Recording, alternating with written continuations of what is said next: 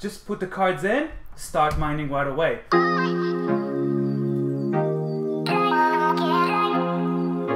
So in total, all those parts here cost me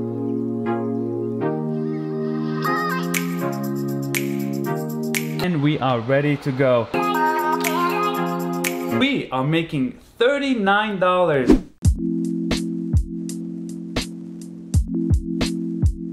What's up guys? Welcome to How Much YouTube channel. My name is Idan and today I'm building the most powerful mining rig I've ever done in my life. And I'm gonna show you how much money all those parts cost which parts you need to build something like this. Also, I'm gonna show you how to set it up from scratch, how much money does it cost in electricity, and how much money I'm gonna make from this rig. Let's start by reviewing all the products that you need. The most important thing is the graphics cards. As you can see, we have seven RTX 3080s that I found on eBay. And each of them cost me a different price. This EVGA card cost me $1,766.94. This gigabyte version of RTX 3080 cost me $1,773.90. This Asus stuff cost me $1,772.05. This gigabyte RTX 3080 was a little bit cheaper at $1,692.50. This is my second MSI RTX 3080. This one has three fans and it cost me $1,713.24. And those are all my graphics cards from eBay. In total, all those graphics cards cost me $12,228.11 the most expensive part of this build. I choose two power supplies to run this because together they're gonna take over 2000 watts. Those are 1600 watt power supplies from bitcoinmerch.com. Each one costs $349.99, so two of them together is $699.98. This is a ready to mine rig from bitcoinmerch.com. This one costs $1,049.99 and it actually comes with everything you need to start mining. And you don't need risers, you don't need anything for this. This is why I like it. All we're gonna do is basically install NiceHash and Windows on the included SSD already in there and just put the cards in, start mining right away. It does not come with a power supply and this is why we need two power supplies. It even comes with RAM.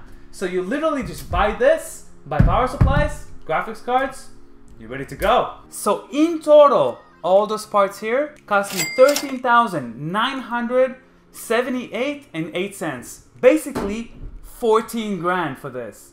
Now let's start with the setup. Now we're gonna power up this machine with the power supply from bitcoinmerch.com. Now we need this jumper, it's included, and we're gonna plug it in to the ATX cable. This mining rig does not have a motherboard connection like this.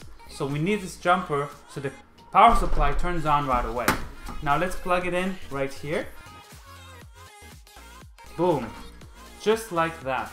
Now it's plugged in. The next thing we need is this power cable. This will run the motherboard itself on this computer. I'm gonna plug in the power right now. So this power will go to the motherboard, all right? Now we're gonna power up this beast with the PCI cables, all right. Now we're gonna plug in those PCI E power to here. We only need two connectors, but I'm gonna take this out because we need a six pin. See, six pin here, six pin here. So I'm gonna plug this in. And I'm gonna do the same thing with the second one.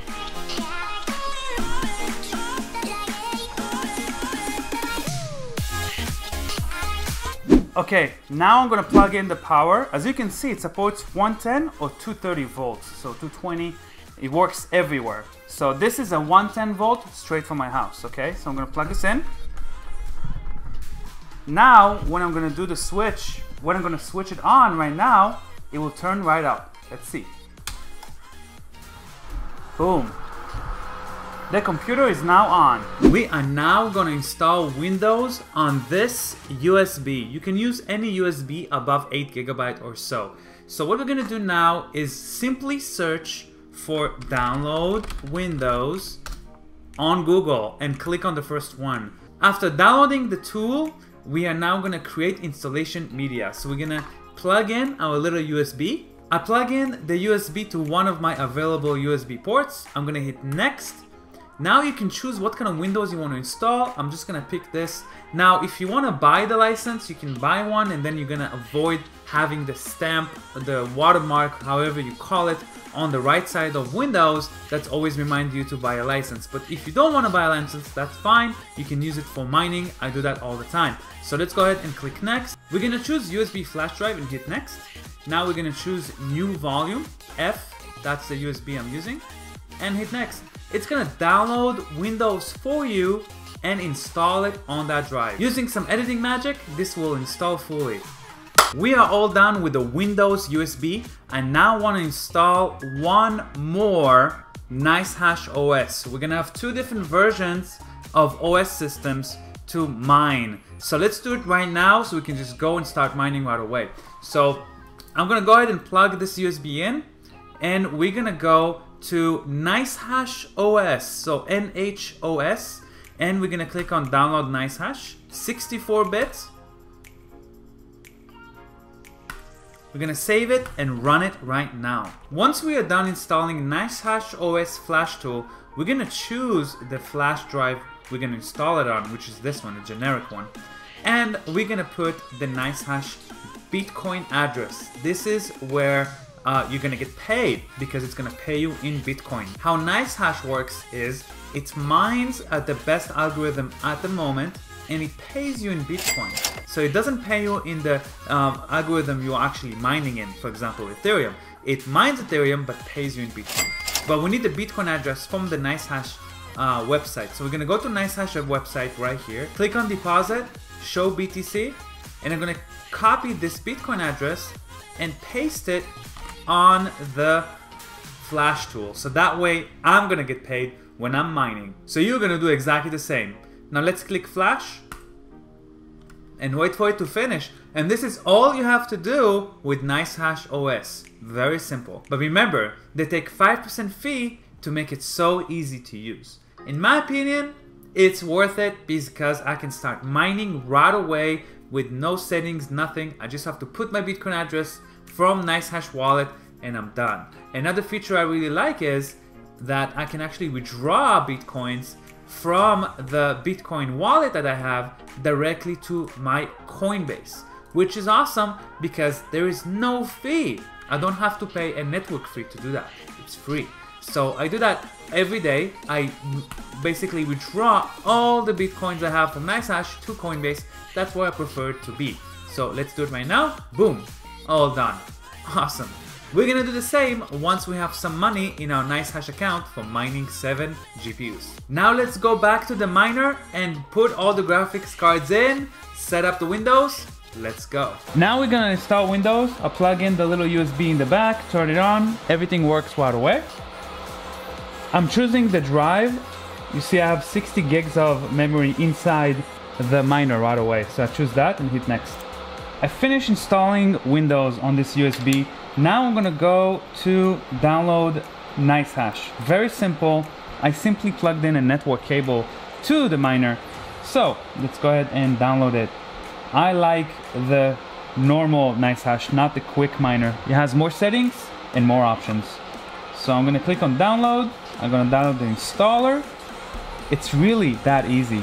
Now I'm gonna scan this code to sync this miner to my NiceHash. You're gonna do the same on your NiceHash app. It's so easy. You click on the barcode, scan, I go here, boom, I scanned it. Okay, rig added successfully, perfect. Now I'm gonna click on confirm scan, and we are ready to go. Now we're gonna let NiceHash download some of the drivers and stuff. It takes like uh, 5-10 minutes. Let's wait until it's done. Now we're gonna install the video cards. As you can see here, I actually disconnected all the fans because they're so loud for this video. But once the video is done, I'm gonna replug those fans in. So there's gonna be a better air cool, better airflow. Okay, so I'm gonna install my first card over here.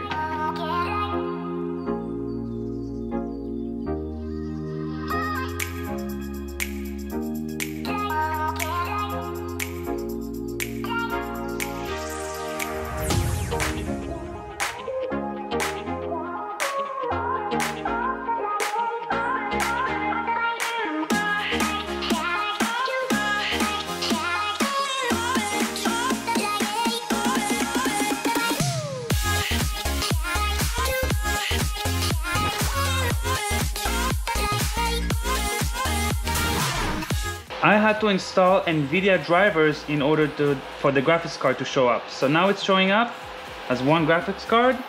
It's right here. Now we're ready to install the second one.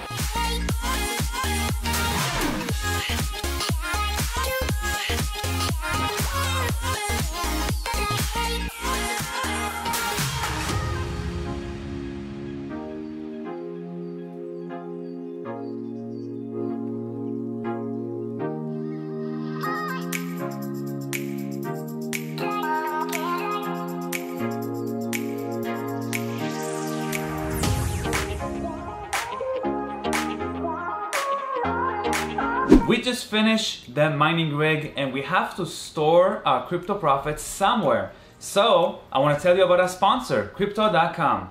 It's a wallet on Android and on iPhone that you can store all your crypto. Not only that, you can even stack them. So you can put your crypto away for a few months and get up to 10% back or even more on your crypto just by not touching it. So check it out in the link in the description below. We ended up using NiceHash OS with a USB that we installed earlier because it saves us so much time and it will just plug and play. So we recommend not even trying Windows. Just plug it in, the NiceHash OS, set it up on your computer, and you're ready to go. We are using two power supplies. The first power supply is in charge of three GPUs and the motherboard, and it consumes 810 watts. The second power supply is in charge of four different video cards and it consumes 930 watts.